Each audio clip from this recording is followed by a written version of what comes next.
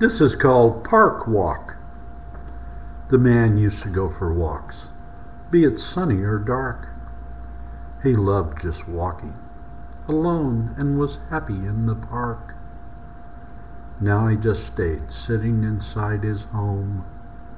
His thoughts were the only way. He felt safe to roam. The last time the man left his house, it was bright and sunny. Some evildoers beat him and stole his dignity and his money. Now alone in his home, he would mumble and sometimes shout in the bright of the day or the darkest night, it isn't safe to go out. Loneliness is something you learn to live with after an attack.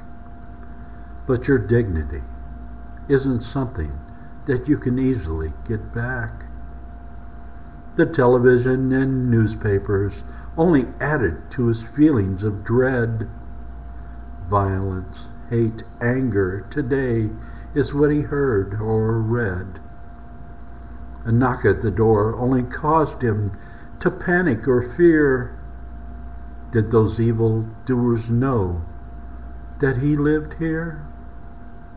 The simplest sounds would chill him to the bone.